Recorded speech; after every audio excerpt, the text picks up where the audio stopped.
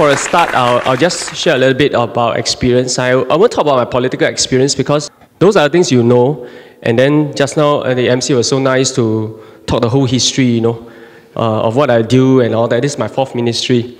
So I just talk about before that. Before that, I spent like 14, 15 years in business. And uh, most of the time, majority of the time is not in Singapore. So half the time, I do not know what is happening in Singapore. I think the time when I came back was the time that you're trying to decide whether you have casino or not. So before that, I uh, travel around and live around in the region. Uh, Hong Kong, Shanghai, Guangzhou, Thailand, India, mainly these few. Lah. Then I travel around a lot to do projects. But the projects that I'm involved in are, when I was more junior staff, the projects I'm involved in is setting up warehouses uh, and computer systems. Uh, but I'm not trained in that field. I'm actually an accountant by training. I graduated from NTU uh, accountancy with very bad results. Uh. it's true, it's true, it's true, it's true. The, the, the subjects we have in accountancy is like eight subjects, right? And then there's like five and six subjects are subjects that technically you have to be proficient or you have to memorize well and then, uh, of course, apply. But there are three subjects where you have to read why and then give your point of view opinion, give alternative idea. Those three I do pretty well. The other five or six, not that great. Uh. But they still give me a pass. Uh. I pass without any grades at all. No class, nothing. Uh. So they call me a no class graduate. Uh. Yeah, it's true, it's true. Surprisingly, I'm right here amongst uh, my colleagues in cabinet. Everybody is a scholar. Okay, so, so when I enter business world, right, uh, I uh, started with an accounting firm because it's the easiest to find a job uh, because you can get a job before you graduate. So I, I found a job, uh, in fact, very nice of the big accounting firms to offer me, uh, several of them offer me, uh, give me an offer. Um, not because my results are great, I think because my CCAs are, my CCA is not bad uh, because I do a lot of sports and all that all the way through university. Uh, and also I did business when I was in university. So they were quite interested. They said, how come you so free? Uh? Studying to study and can do business. Well, I think it's just interest. Uh. I have a lot of passion for business. So uh, I entered one of them. And then I quit very soon uh, because cannot tahan. Uh.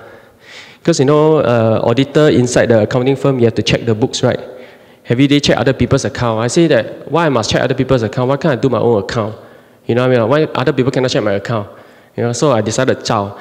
But then very hard to find another job because in Chinese we say 高不成低不就, you know? Because it's like you, are, you got a degree, then you go where? Nowhere, right? So I try to apply for sales job, uh, try to sell things.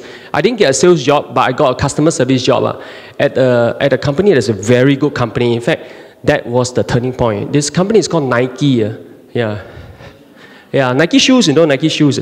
Suits me well but on the other hand, is I, I didn't, I was surprised, I surprised, I'm very surprised that they had a very good training program. Uh, uh, and also when I joined them was the right time to join. Why? Because they were a very small company in Singapore, about 20 people.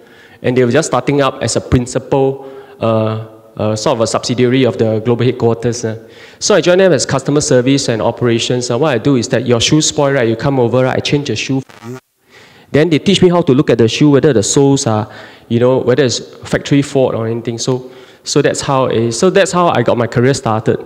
Then subsequently, I think they thought this guy, you know, looked like he's damn enthusiastic, like I want to learn a lot of things. So from the retail shop, they put me into the office and then asked me to do some computer system. And then after that, uh, put me in the warehouse to ask me to go and do stock take and learn about fork, learn how to drive forklift, and then also do data entry and everything. Then after that, I was in sales and marketing. Then after that, they sent me to the US. And that's where I saw Michael Jordan. Yeah, shook. Uh. Uh, see, I know, I see. Uh, I know you never see before. I saw Michael Jordan.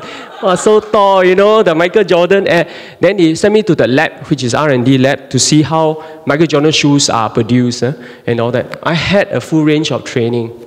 But I was young, I was very keen to learn, so I, I keep learning. And uh, finally, I found a little niche for myself in a company, which is in operations, uh, which is supply chain management. And uh, I subsequently um, head up the operation department at a very young age. I was about 25 years old. I had about 30 over staff. I, I grew the department, installed a computer system. And then I left I left the company because uh, uh, my boss say, I think the retail business industry is only this big. Don't you try something more technical that Singapore is developing? They say the logistics sector is big. So I, I joined another startup company to in logistics. La. It's not a startup as in globally, but it's a, really like a startup for that department in Singapore. So subsequently, by this company sent me overseas. So I, I continue, continue uh, they were a long story, but I every two and a half years I did different things. While I was working, I invested and start up other companies uh, with my friends, or sometimes I you know, I see my friends very poor thing, they want to start company. Then uh, they say, no, you know, nobody want to invest in them. Then they ask me, do you have any idea? They say, okay, you have some idea. Then we start together. I'm a non-executive kind of partner and shareholder. I start something with them. So cumulatively, I start about 15 or 16 different startups and companies. Uh. Two of them are listed. So, uh, I mean, along the way, I guess I go through the pains with them I was, as I was working in corporate. But at the same time, I realized the importance of cash flow and some of the different challenges ahead, manpower, and also how to scale. The biggest challenge I felt was not lack of passion, but uh, I would say that um, the biggest uh, challenge is learning how to learn fast and also to scale up fast or scale up at the right time. Many want to scale up very fast, but uh, how do you scale up at the right time? The startups that are usually involved in are technology, so we have to really speed ourselves up very quickly. Um, the issue is cash flow is always an issue because when you want to build R&D, you also need a bread and butter and a food on the table. So how do you keep that balance? While you develop your own software, you have to do other people's things. So how do you keep that balance? And then the other thing is that finding people was really difficult at that time as well. Uh, not just now, you know, with all our manpower policies, but at that time as well. And then when you're scaling up, you realize as founders, right, we are not good at what we do already because you don't know how to run bigger and bigger companies unless you learn really fast. So how do you bring in professionalism to come in? And then do you have the money to bring them in? So those are the issues we grapple with, uh, you know, for several of the companies. And not only that, then competition comes in. Hey, how do you fight the competition? Every day, I realize every day we're on a treadmill. Oh, well, I would say every day on a treadmill. Lah. If you are on the treadmill, you can imagine that we just keep running, but it's faster and faster. It's non-stop. Because in that sector, in those sectors that I'm involved in, the competition keep coming in. Barriers to entry is not low, but there will be people who want to eat your lunch. Uh. So I, uh, we are typically, you know, the challenge is always there that you will never survive to see another day. And uh, those are some of the experiences I, I went through. And uh, it, it was, uh, to, to be honest with you, I find it uh, very, I find that very exciting. Lah because I thrive on those challenges. Uh. And my partners too, uh, some of my friends who today are still, I can't invest in business anymore, but who today are still doing really well, they all get excited by competition. They all get excited by learning new things. They also get excited by actually pushing boundaries. Uh. Pushing boundaries meaning that when, when we start anything, right, we, always start in Singapore, right? When you start anything in Singapore, the strategy, any strategy you think about, uh, not on paper, say, what, how do you want to market? Uh, it's about overseas. So it's never about Singapore. Majority of the time, the discussion was about which is the overseas market. Because to us, uh, we have to be taken that we will be okay in Singapore, but Singapore cannot be the only one. We want to survive out there more than we want to survive in Singapore. I don't know how come we had the mindset, maybe because most of us did regional sales. Uh. So when we did regional sales, we are always overseas rather than Singapore. So we are so sold about overseas market, especially China. I live in China, so especially China, we like, yeah, that place is better, this place is better, let's chong there, chong here, you know. So there was a lot of the discussion was about how do we penetrate the market. Very, there was just very basic discussion about Singapore. So that's how uh, the businesses will scale up. Lah. I wouldn't say all succeed. In fact, majority failed. Uh, some I never see my money again. But uh, those I saw the money again, uh, I saw multiple times over. But that's the fruit of the labor. But you see the glam part, then the behind the scenes is really uh, a bit more difficult to say. It's just pure hard work. But it's never the money that drove us. It was to see the product grow and people actually buying it, lah, the demand. Not all are B2C. A lot of those are invested are B2B.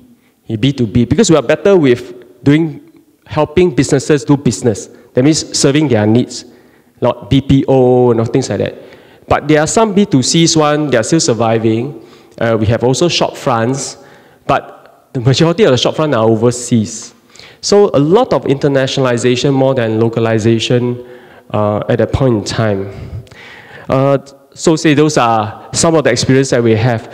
But I think most importantly is that if you're willing to venture and you already started something, and I would just say that uh, well, while you want to take a measured growth, you want to take a conservative pace, you must know that um, you are not the only one in the market.